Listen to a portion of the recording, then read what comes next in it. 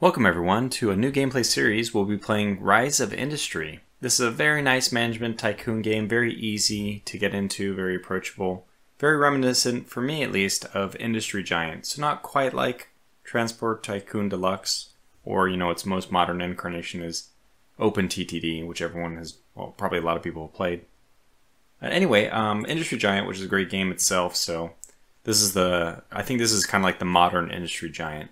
Mostly it's about production chain management, um, but there is some, you know, I mean, it definitely can be a challenge to get your uh, transport network set up as well.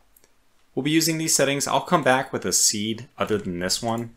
Um, I, I want to experiment with one that I like, but I, I don't want to do that on camera. We're basically playing with all the defaults. The only thing that you might want to note is that I'm playing with normal AI players. I don't know if that's a default or not.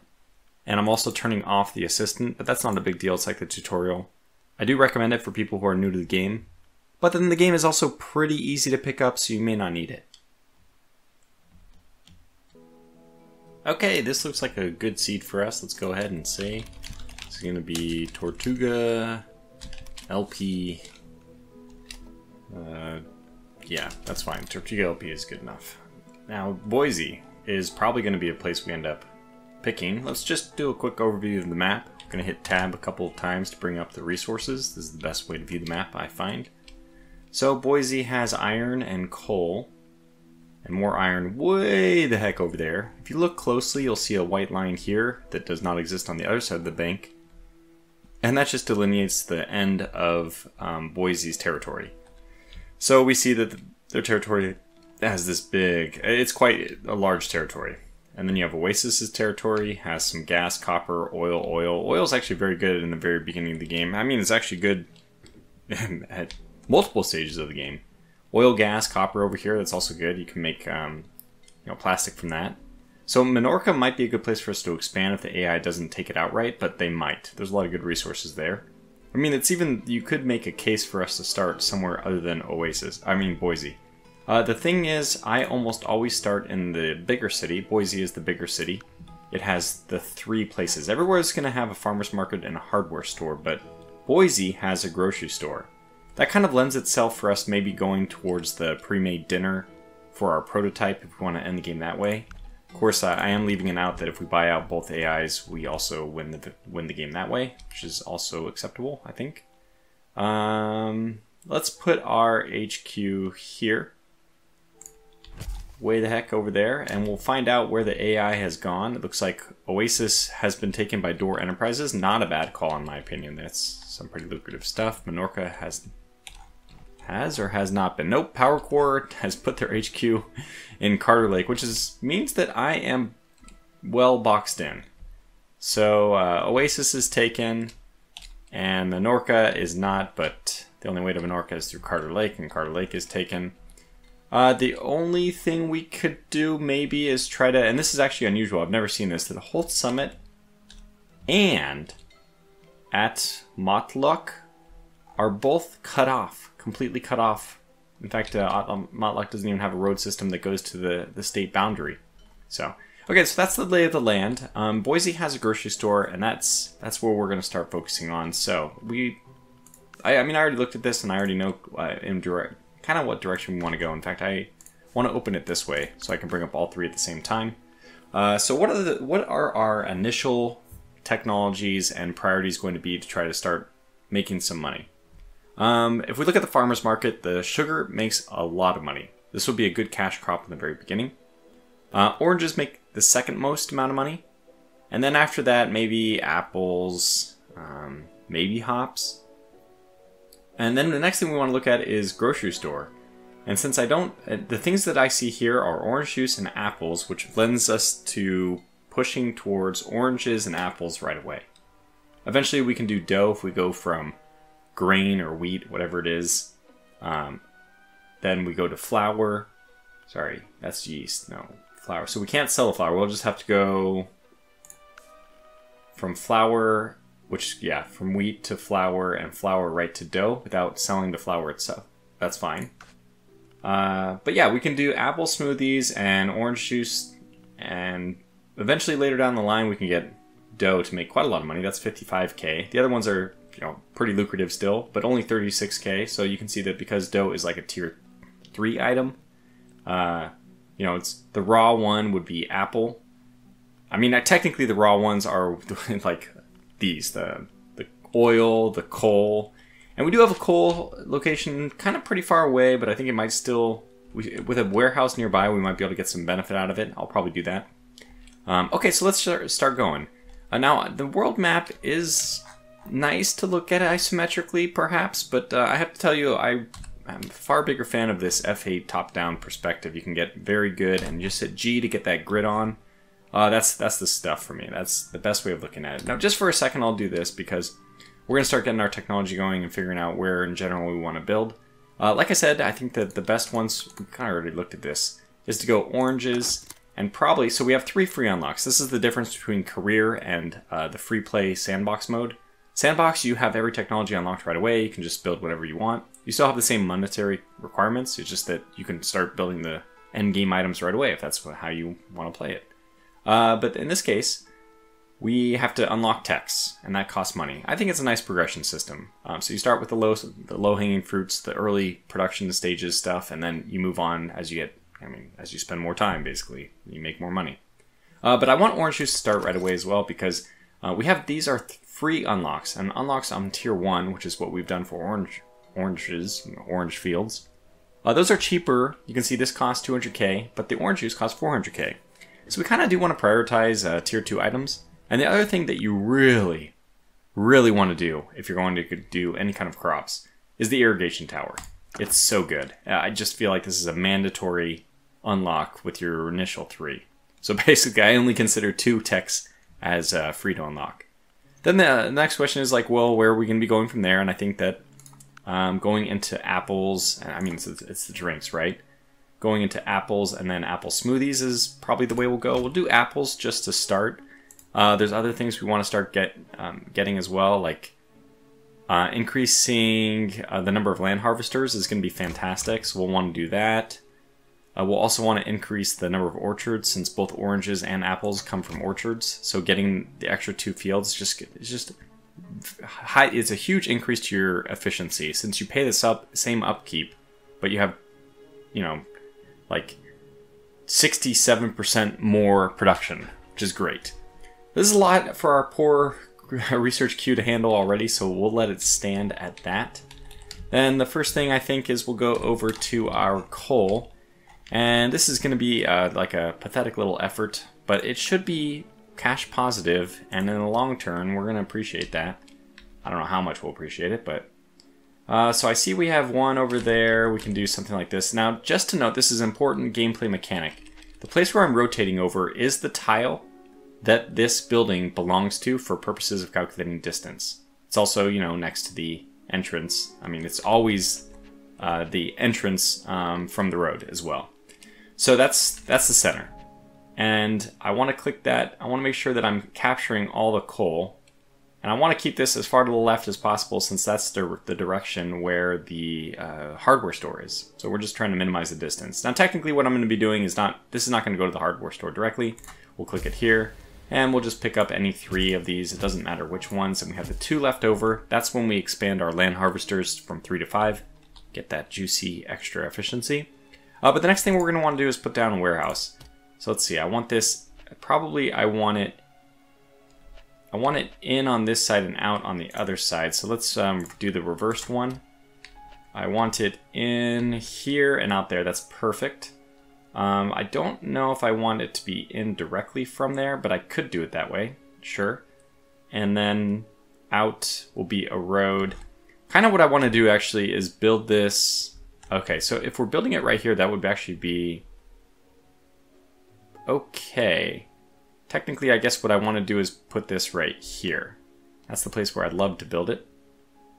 Yeah, we can do that. Um, Okay, I'm just going to build right there. You're going to see the method to my madness in a second. So we only have dirt rows to work with, but we're going to do connection here. And this is actually going to connect all the way over to there. That's a long road, and we'll be able to see how many tiles that is in a second. I like to give at least one buffer from this, so my um, loop is going to look something more like that. uh, with one buffer. And actually, in the end, we're going to do a lot of one-way stuff. So we'll, I mean, I, in the very long game, we'll have oh, an inner ring, which is one way, and an outer ring, which is the other way, with bridges to allow connections and all that. It's pretty fancy, but um, in the beginning, at least, this is going to be sufficient, and we'll pick we'll pick one direction. In this case, probably this direction will be our one-way loop, um, and we'll have a, an outer loop. We'll have some connection which will go the other way if we need it, but for now, this is actually going to be sufficient. We won't need to use any one-way stuff for just this coal mine. Now, coal mine's pretty simple. We're just going to set it up to deposit to the warehouse. The warehouse is more efficient. Why? Well, um, it carries two goods instead of one. So this distance is 12 tiles, that's 370. Fair enough. But the warehouse is going to take these raw goods and it's going to transport them over to the hardware store. You notice that the hardware store lights up because it's an appropriate good for the coal that I've selected. Um, so we do that and we see that it's 85 tiles and wow, 1.63k. Mind you, we're only making like, I think it was 8.5k on this. No, it's even less. It's 7.7k on this, so it's really not that much money. But, but, importantly, so you might think, okay, 7.7, 1.7, if we round, that's, uh, you know, we're down to like 6k. We only make 6k per, and that's, you know, without having paid, the, was it, the original 370. So we're out another 0.4. Uh, we're, we're really looking at nothing here, right? It's like 5.6. Is that what we're down to? Not quite because we divide this by 2. We have two goods which are going, so essentially this cost is now 0.8. So that's why we want to make the majority of the distance to travel should be traveled with the hardware, I mean the warehouse um, trucks which carry two goods because they're more efficient. That's why we want to use them.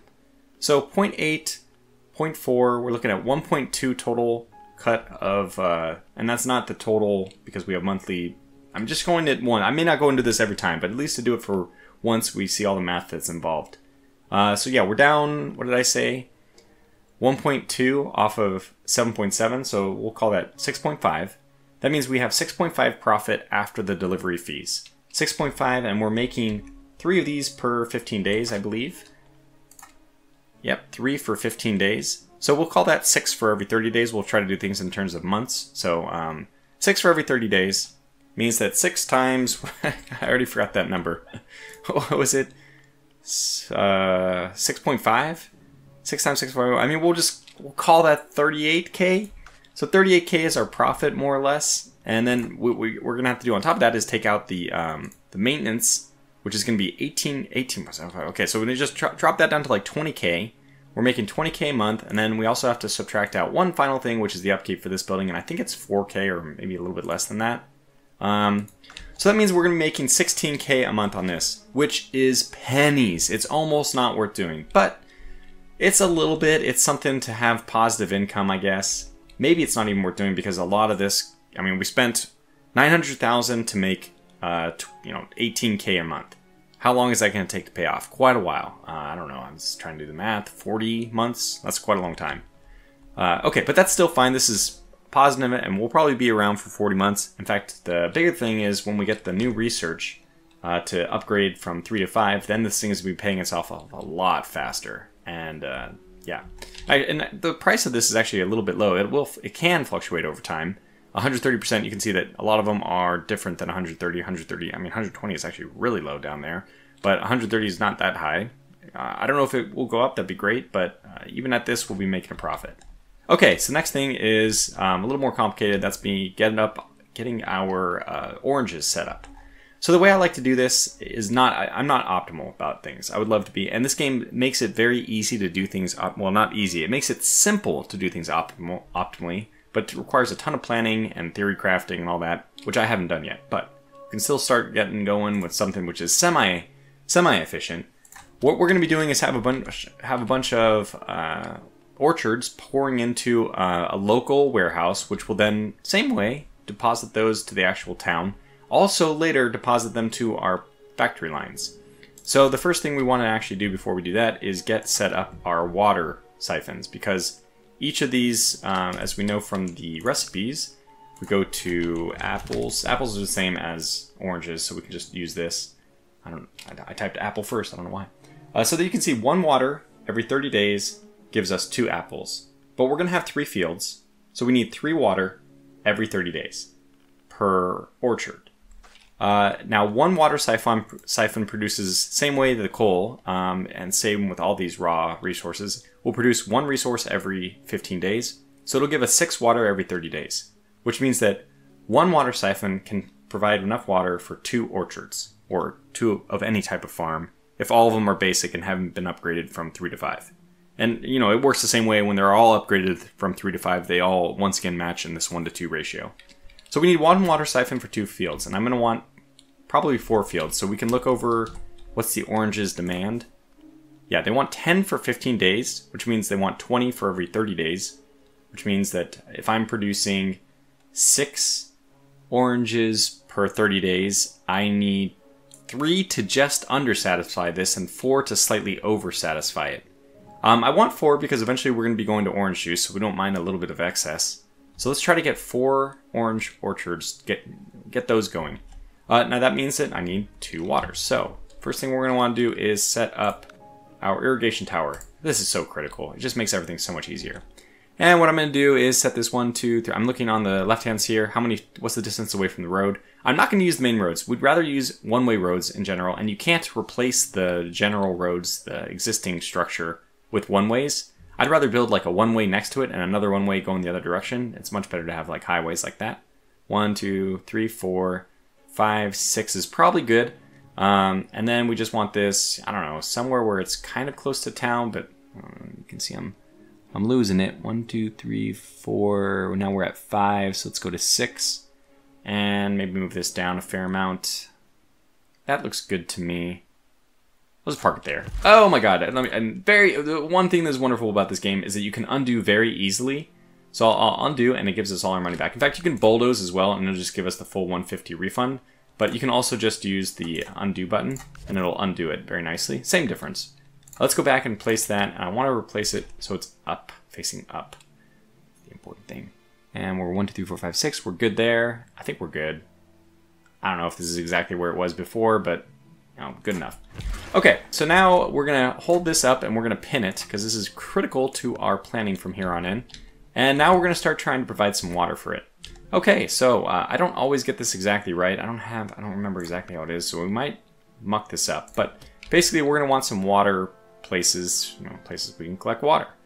Uh, we'll take, um, okay, so let's see. One, two, three, four, five, six, seven, eight. This is the middle tile.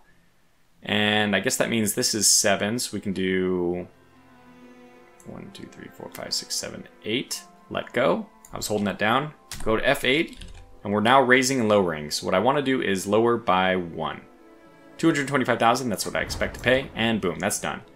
So now let's just mirror that on the other side. Uh, if I did this right, but I might not have. Well, let's put a water siphon in first, make sure I didn't get this wrong.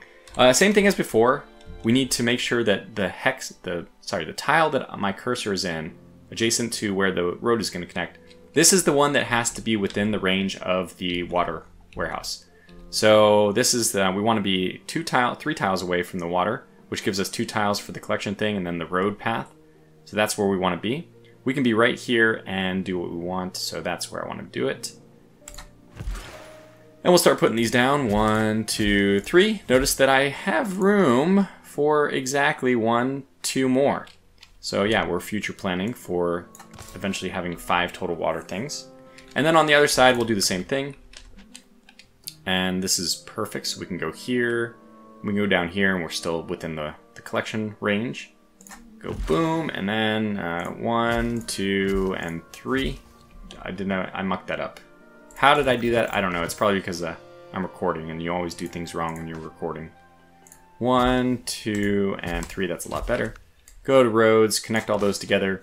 All right, so now we have two water producing facilities. That's gonna be enough for our first four orchards. Eventually we're gonna want another one of those, and I can kind of like future-proof this by doing the collection. I mean, notice that because I rotate, like when I want this one, it has to be, that's the limit. But now when I want it up like this, I can actually go up here, so I could technically go down here. But we're gonna have another one over here, and that's really gonna be the limit, so we want one, two, three, one, two, three, four, then one, two for the water. So we're probably going to end up being like perfectly right here. Is that to be, no, sorry, then one, two, three. So this is where we're, our other guy should be. Let's see if that works out. Uh, so we want the water right here, I think. And that means one, two, road, one, two, three, four. Perfect. Okay, so that is exactly where I want it. Let's just do it now. I mean, we can put the water down so I just don't forget later. You've already seen the method to my madness, haven't you? Okay, so we want this is one, two, and then right here is where we're going to want it. I did not do that right. Five, six, seven, eight. Okay, and then drop that by one. You cannot, unfortunately, you cannot do undo terraforming. Let's hope to God I got that right. Oh, it looks perfect. And then this will all work. It looks perfect. Okay, good. So now I'm going to undo all that, but our water is set up, ready to go when we want to add our next one. Very nice. So that's going to give us um, four total waters, and we might need more than that even, but for now, that suffices. And honestly, the first thing we want to do before we even build our orchards is let time advance. Because now we want these water siphons to actually start filling up with water. So advance we will. And then we can kind of see also what the AI is going to do with their stuff. So Door Enterprises hasn't done anything yet. We'll go back to this mode. It's probably a little more easy on the eyes. Haven't set up anything yet. I love that Minorca is available though because they have a lot of good stuff. We do border them. We just have to build a road or train even. Ooh, exciting. Uh, over to them. But yeah, they have a lot of stuff. Oil, copper, gas.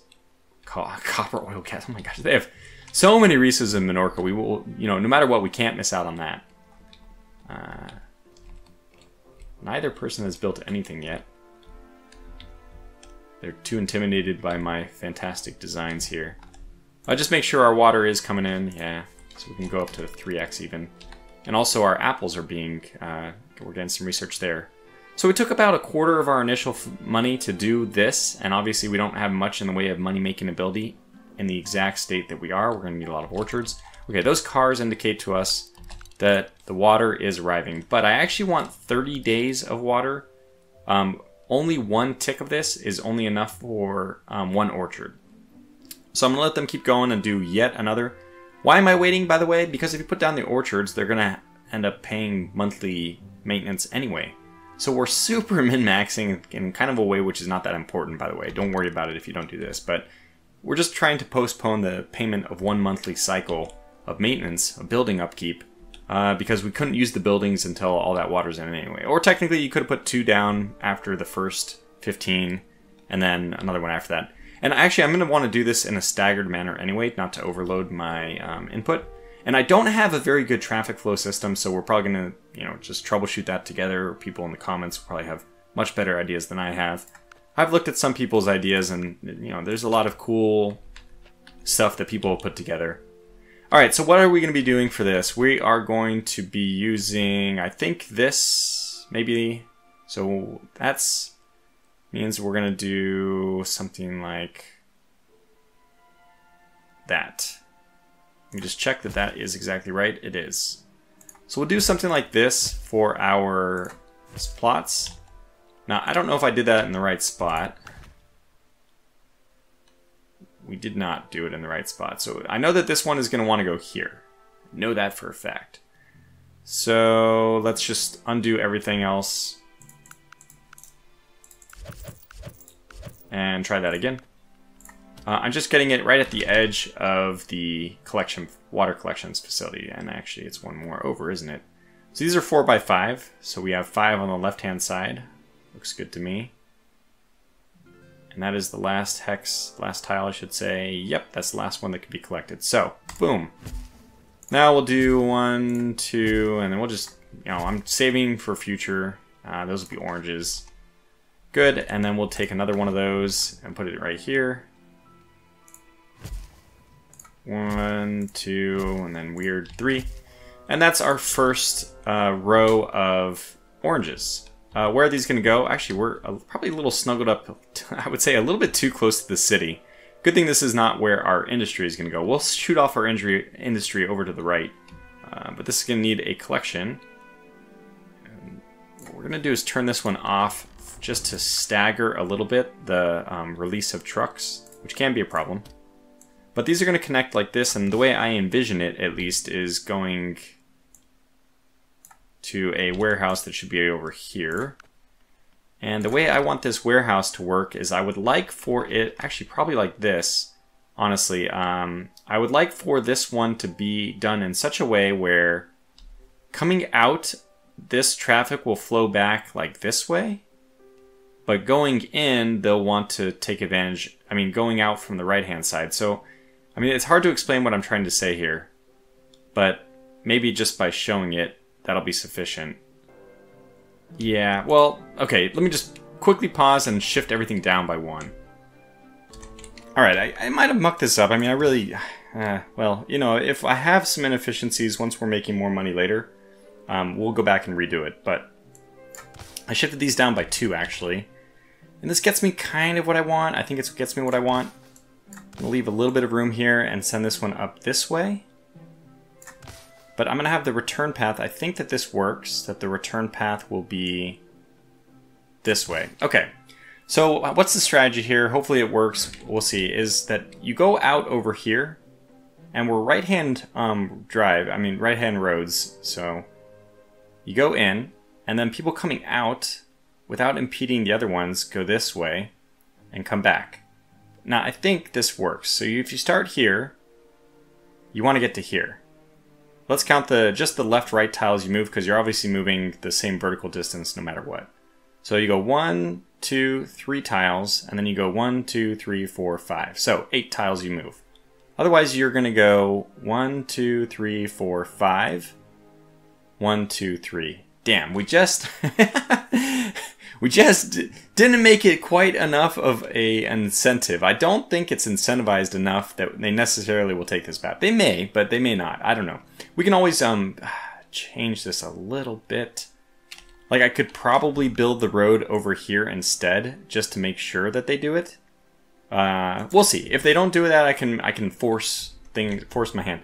The reason why we'd like a nice circle, I mean, it's not probably important at the very beginning, but it would be nice to have uh, like a circular route, and we can force that with one ways later. So I guess it's not critical to get it done now.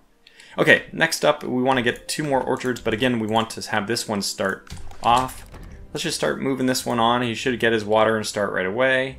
Just trying to give a little bit of time for the uh, trucks from one to go and then come back while the other ones are doing their thing. And I don't have a good pattern for this, by the way. So until this becomes fully one-way, and I don't have one-way roads yet on the logistics stuff, but let's get that up there. Um, so once this is one way, we'll force them to like rotate to the right, which means the trucks coming out will have to do something like this.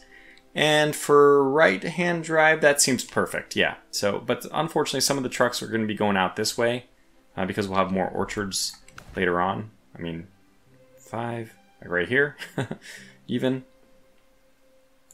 So this should be the identical thing. And did you start yours already? You did a little bit. Okay, good. So then you can probably get going. How, how much um how much water we have stored? None. Yeah, this is already kind of a problem. I don't know why we don't have any water stored yet. It's coming.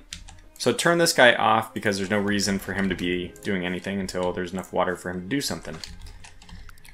So we'll just let time tick away for a little bit, and then we'll build our next orchard as well. Uh, these guys are going to take their oranges, and they're going to supply the farmer's market at meeting demand. And we can see that their route is definitely to go that way. I'm still curious if they'll come back well, which way they're going to go back. Yeah, because either way, it's going to inconvenience people coming in this way who are trying to go in. One-way stuff is going to help a lot, but uh, we'll see. Like, how many do we have in there already? Did I actually tell them to deliver there? I didn't. Okay, well that's that's mine. That's on me. deliver everything there, and then we could just do a nice thing. We can shift, hold X. I mean, hit X, then hold Shift, then left click, and then we can just do left click and left click.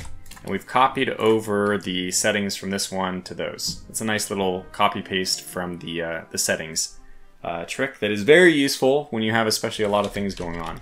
Uh, we've actually finished apples already. And I'm not doing the apple smoothie stuff yet because we're going to want to get apples going. And we're going to want to get apples going actually fairly soon. Uh, because that's a different thing that we can supply. So we can get 10 oranges, but we can also get 5 apples. Now that's 10 apples per, you know, per 30 days. Uh, 10 apples means we're going to satisfy that with even only two buildings. But, you know, for that we're going to need more water. at least one more. I guess I might as well start building it up. There's no real harm. How much, what's the, yeah, so this only costs not even 10k of upkeep. They're pretty cheap. Let's get them going right away then. Okay. One, two, three. And connect those with road. That's good. I probably could also do the other one. We're going to need to be... Oh, we're right there. Do we need it? No, I don't think so. Not yet. Alright, good. Oh, there we go. We're making money now. So technically, have we made any money yet? Yes, technically we made 51k without my having seen it. Uh, so look at that. We're, we're making money. We sold 75k already this, uh, this month, so we're selling a lot more. This is now green, and it is going, and water is not stockpiled yet. Okay, well, sorry, I keep hitting escape, but this is pinned, so it won't go away. But that's my instinct. Escape just closes everything that's open, except for the things that are pinned. Okay, now we have some water, but how close are we to needing that water? Pretty far away. Orchard 1 and Orchard 3 is not, they, they seem like too well aligned. I think it's this one and this one, but one, two, three, yeah. And we do have three water. Oh, now we have eight water. Okay, so we're in good shape. Now we can actually do this. So we'll do it. One, two, three. Get the road all the way up. And I'm to want the road to go like this. There we go. So things are to get a bit congested when all these things pile up, but hopefully because we're doing things at, the, at a different time, it won't pile up too badly. It may, though. It may still. Lots of trucks are to be clogging the road. But let's just see the timing of this. That looks pretty good. We can always spread it out a little bit more if we have to, just uh, to make sure that these guys aren't overloading each other. Yeah, that's some traffic, all right. But maybe not terrible. I would say it's not terrible. So it looks like we've been uh, we've managed to actually avoid uh, too much of a traffic jam.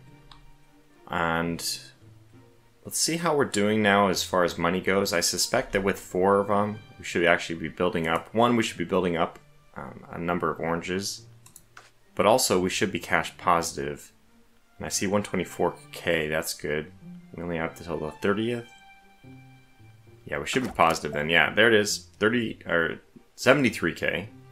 That's actually very good and not too much traffic. So we finished the next R&D. We got our plus 10 gatherer storage. That's not really anything interesting. It's just a stepping stone to get more uh, land harvesters, get more harvesters for other things too.